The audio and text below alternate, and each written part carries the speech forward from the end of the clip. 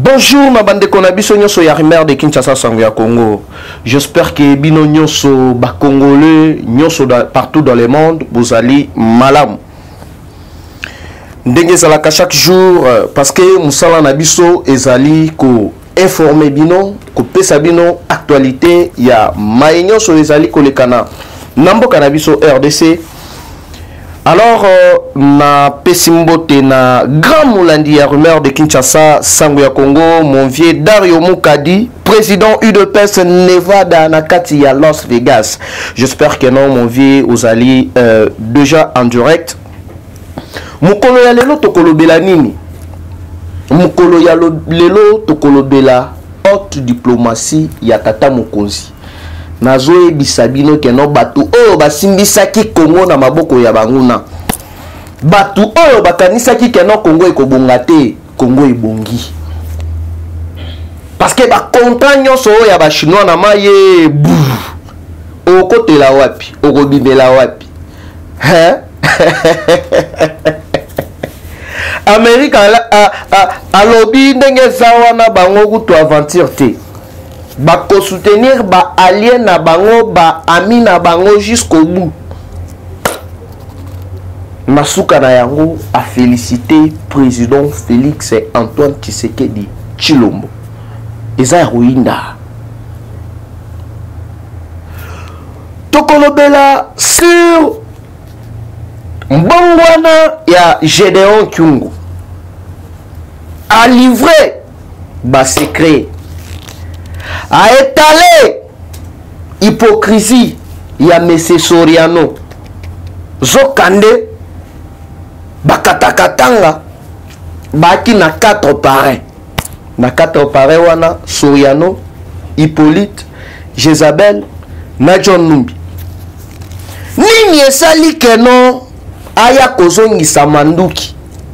asala déclaration na kati ya déclaration na ye alobi nini parce que azalaki na plus de 3500 éléments oyo bazalaki bien armé mais bonne nouvelle ezali ke non à part extrait ya moke oyo bomoni etamboli na kati ya ba réseaux sociaux eza na bamaloba oyo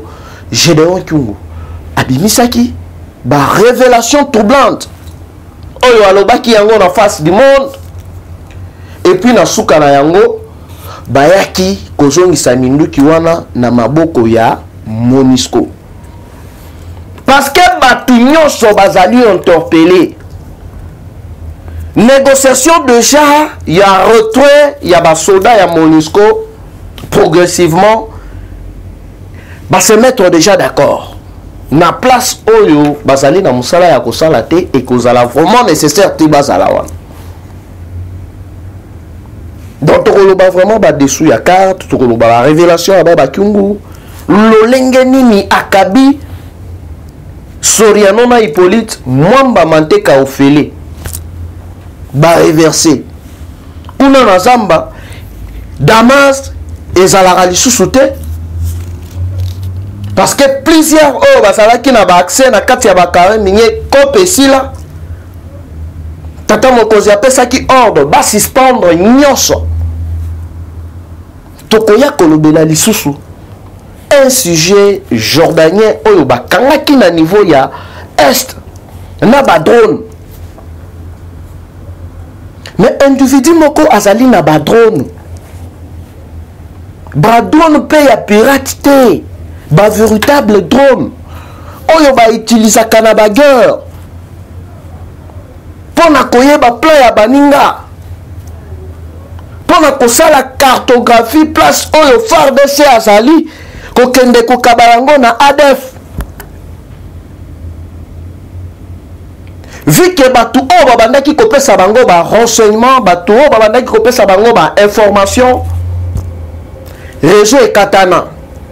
basuki mayele mayele esili bango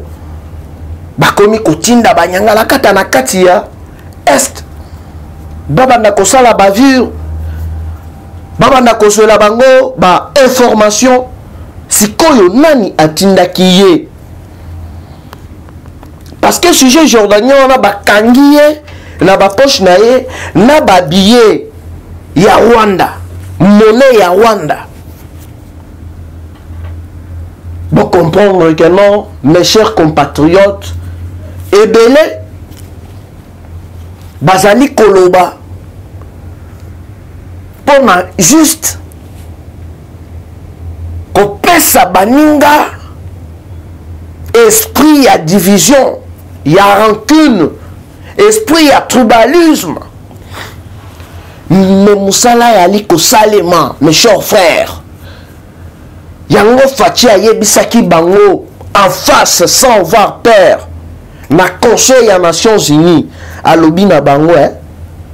état de siège wana ekozala ti mokolo oyo guerre ekosila alors ndenge nalobelaki tozobanda sikoyo point moko na moko mpo na koyeba nini ezali kolekana sur le plan politique sur le plan diplomatique sur le plan sécuritaire bandeko balandi ya rumeur de kinshasa sago ya congo bozali ebele ebele partout dans le monde partout na rdc mobimba nazali kobanda nanu na point ya liboso sur le plan politique mes chers frères toyebi biso nyonso lolenge nini tozalaki na kati ya coalition fcc cash objectif ezalaki keno tosangana togere ensemble me toyebi lolenge nini bato oyo mosusu bayaki na bango bakadogo me na mbango oyo bayaki koyiba na mboka na biso epesi bango courage ya kosala politike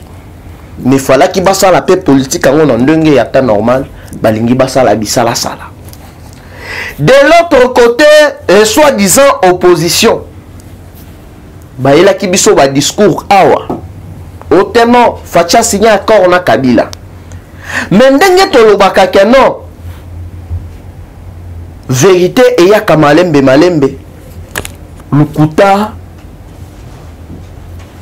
eyaka na ascenseur mbala moko lelo silence radio yango nazali koloba na monsieur keita diang madidi na camarade na ye baleka basenga président pardon officiellement parce que bakosaki yango nazali kosenga na bapoliticien ya fcc barenir courage ya kosenga faci pardon lelo secrétaire adjoint ya pprd ferdinand cambere fidèle farouche ya hippolyte kanambe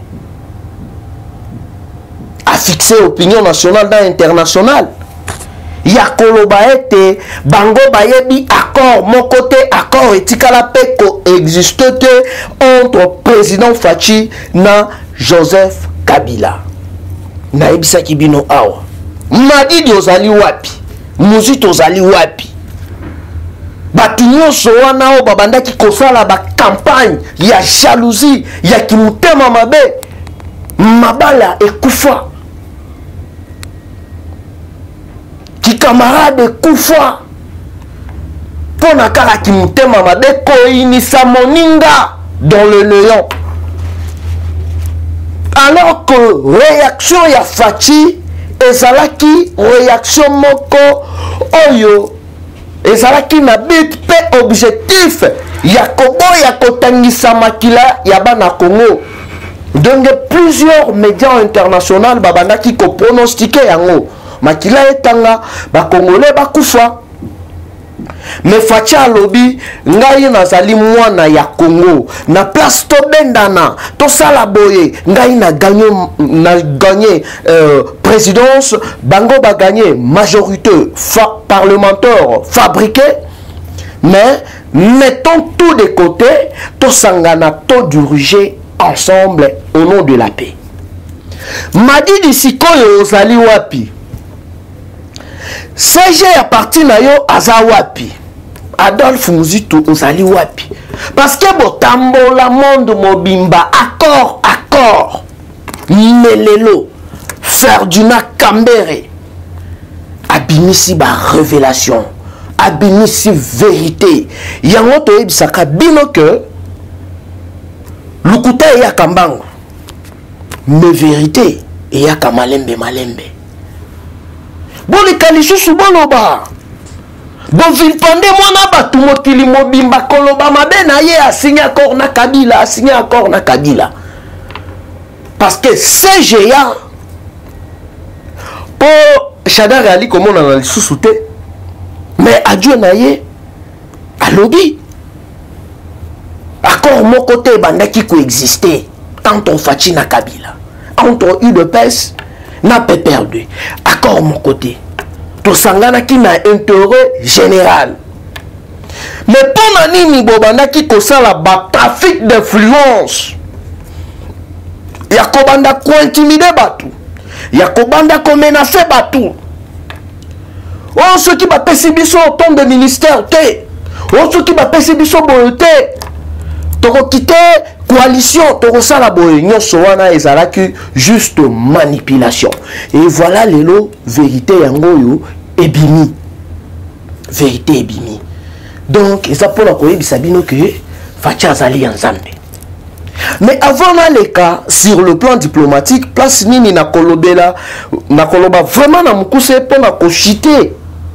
sur le plan sécuritaire tata mokonzi nazali kosenga eloko moko baconseiller nyonso ya chef de l'état oyo bazali kolanda biso partout dans le monde parceke nayebi ebele baza mpe na tata mokonzi mosusu bazali awa makambo ya baambassadeur trop c'est trop escroquerie moko ezolekana na baambassade yango biso en tant que bacommunicateur oyo tosalaka éveil patriotique tous les ambassadeurs avant basala remise et reprise il faut igf akota na baambassade nyonso ba arriere ba corps diplomate ti sikoyo bazali kozwa bambongo na bango te ba corps diplomatique nyonso pardon bambongo na bango bazali kozwa te baza na ba arriere ebele ezali na baambassadeur oyo voir kutu loyer ya pamba bazali kofuta yango te me mbongo ebimaka awa me bamosusu bakei mpe na bapropre mapango na bango omoni mwa kikuku moko boye kaka atia ambassade bapratike wana ezali ebele ezala na bapays ya europe ezala awa na afrique ezala na bacontinent ebele surtout awa na afrique obandi nanu na uganda obandi awa na Namibie, n'en parlons même pas. Ok na Zambie, Afrique du Sud, ok na Nigeria, surtout na Nigeria kuna kutu nde koloba te. Barriere ezali yango tozosenga na baambassadeur nyonso avant balongwa basala bango audit général. Bayeba pourquoi baccord diplomatique ya RDC na bamboka wana oyo bazali korepresente drapeau bakobanda kolelalela mpo na basalaire na bango. likambo wana totala yango botala yango avec beaucoup de respect parce que ezali kobe bato wana baza na campagne ya kobebisa image ya rdc na niveau ya libanda parce que depuis faci topona ye président congolais nyonso ata soki oleki osali semblant mais faci azongiseli peuple congolais valeur oyo azalaka nango kala eloba na nga eloba na yango mama nina booka motema ya papa eric duvita na kati ya paris congolais valeur ezonga congolais considération ezonga mpo na nini toza na président oyo azali 100% congolais de père et de mère sikoyo bino bato bobebanaki bozali bavoisin bozali na kati ya libala bosambelaka eglise moko mais à cause ya discours moko tribal à cause ya discours moko ya division oyo madidi keita dianga ayaki nango oh tshisekedi ya signe accord na kabila oh tokolakisa bino accord mais lelo secrétaire adjoint ya pprd abimisi baverité ke non entre kabila na faci accord ezalaki te entre udps na pprd accord ezalaki te bokosala bacampagne ebele bokoinvente bahistoire bokomanipule bato mpo na kosalir faci mais boyebake non faci aza pas seulement na mandat mais azali mpe na mission ya kobongisa mboka oyo kolongola yango na libulu nakoti na deuxième point sur le plan diplomatique awa sur le plan diplomatique bandeko balandi tokotangela bino kaka déclaration ya joe biden le président américain joe biden en marge de la 76 76e assemblée générale de l'oni dit Avec nos valeurs et notre force, Nabandeli, avec nos valeurs et notre force, nous allons défendre nos alliés et nos amis et nous nous opposons aux tentatives des pays plus forts, Chine Assemblée de les faibles en pourtant précisément, a pourtant préciser le président des États-Unis d'Amérique, Chine, Cop et Sili. Et nous opposons aux tentatives de pays plus forts dédominer le plus faible, a pourtant précisé le président des États-Unis d'Amérique, Joe Biden. toyebi biso nyonso guerre oyo ya baminere oyo bato tu basali misu na bango brake oyo bamultinationaliste bazoya na baplan na bango ya mabe faci abetaki bame libre mais bokocomprendre que non après conférence wana faci ayambi plus de 32 chef de l'état ya monde yo ozoleka kaka o faci faci faci yango mwa classe na bino tshisekedi tshisekedi camarade na yo bamiselekete nyonso oyo basala bamakelele wana tokipe bino te tokorepondre bino te awa na congo awa première dame azaka moko chef de l'état aka moko bomata bokita bomonte bahistoire boevante babiloko etali biso te awa sikoyo na ba président oyo bayaki kosenga audience epai ya faci baenvoye spécial na kati ya grand lac ba peter palm me nasepelaki kaka na ideo ya président ya zambie l'actuel président ya zambie alobi oyo ezali kolekana na niveau ya bafrontière ezali déplorable na sens nini eza voir kutu na ba joueur ya ekipe ya soriano oyo bakoma mpe batrafiquant ya baminerai allez-y comprendre surtout temps oyo tipe wana abandaki kokonza province ya katanga laisse aller na niveau ya douane rdc azali kobeneficie na eloko te bamatière mosusu ekobima ya valeur bango bakomi bamatière mosusu nyonso wana ezalaki bamakambo oyo bango moko babandaki koorganize mpo na kopie mboka na biso donc baya na afdel soit disa baya kolibere congo mais bayaki mpo na kopie congo parce que ti bayaka tomona bango sikoyo awa bazwi décision ya korenforce nanu contrôle na frontière ya kasumbalesa entre zambie na rdc deuxièmement ko punir tous les bato oyo babandaki koteka baminerai na biso ya rdc frauduleusement eyindi te donc bazosigne sikoyo accord na partenariat stratégique na zambie sur le plan économique na sur le plan sécuritaire parce que nyonso bobandaki koyoka zambie akoti boye zambie asali boye C'était juste de la manipulation télécommandée par Soriano Hippolyte Kanambe en complicité na président Oyo Aouti Kolongwa. Mais vu que président Oyo Azongi aza pe opposant historique na niveau ya Zambie, baza sikoyo na rapprochement moko ya makasi na président Fatshi. Banguna ya RDC Bolali. Tozali kochite siko sur le plan sécuritaire. Bande Konanga, Fatshi alobaki yango déjà. alobi bato wana tokotikela bango ton te tokobengana tous les nyangalakata sikoyo banyangalakata bachange stratégie vu que bato na bango oyo bayaka koinfiltre awa na kati ya rdc bazoyeba te bakobandela wapi bakosukela wapi awa boyebaki yano ezali ya koyinda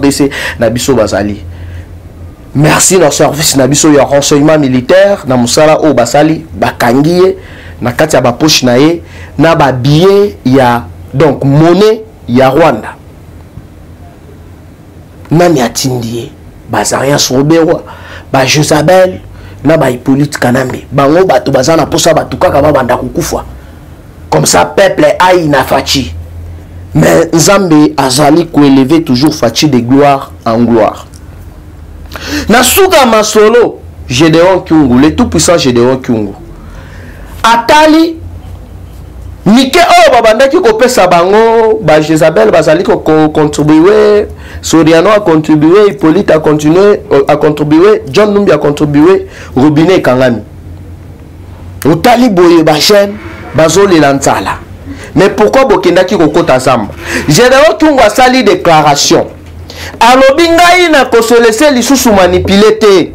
moto abandaki kotinda nga mingi mingi ezali soriano na john numbi john numbi ye moko akimi soriano espoir batielaki ya baminere cope efare sikoyo awa biso tokosuka ndenge nini nga na ye kozongisa na nga badrapo ya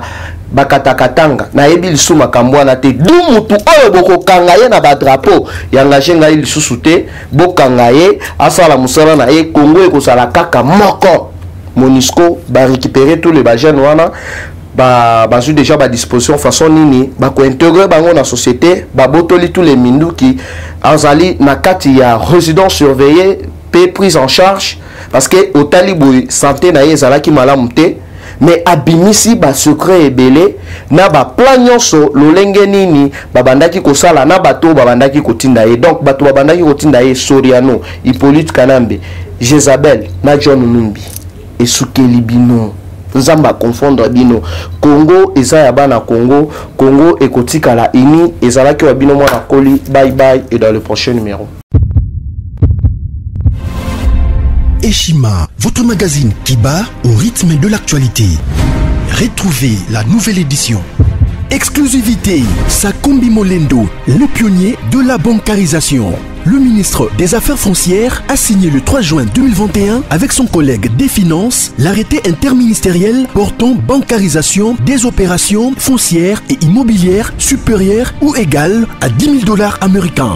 Une première en RDC concrétisée par celui qui fait figure de porte-étendard de la numérisation et de la sécurisation des titres fonciers. Aimé Sakumbimolendo Molendo est de plein pied dans la matérialisation de sa politique qui suit la vision du chef de l'État, Félix-Antoine Tshisekedi, celle de faire du numérique un levier d'intégration, de croissance économique et de progrès social. Nation, gouvernement des Warriors, bilan de gestion des 100 premiers jours du gouvernement Samalou Kondé. Sonas, le DG Lucien Boniemé et Kofo présente un bilan largement positif pour les grandes réalisations du premier semestre 2021. À lire également l'interview de Seth Kikuni portée sur les questions d'actualité. À la découverte de Tissia Mukuna, la DG de la marque La café planté et transformé à Kinshasa. Interview exclusive de Richard Ilunga, DG de l'ONIP, qui confirme l'identification de la population congolaise avant les élections 2023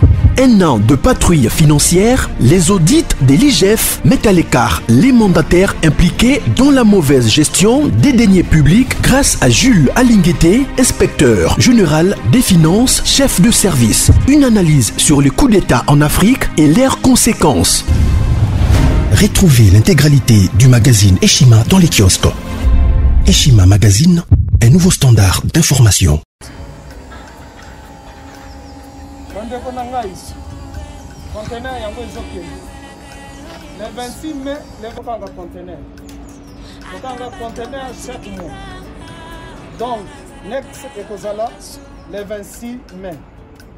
olingi otinda velo mutuka lise osi okangi biloko tu omemaka na biso benga biso comme ça toya tomema biloko totinda na kongo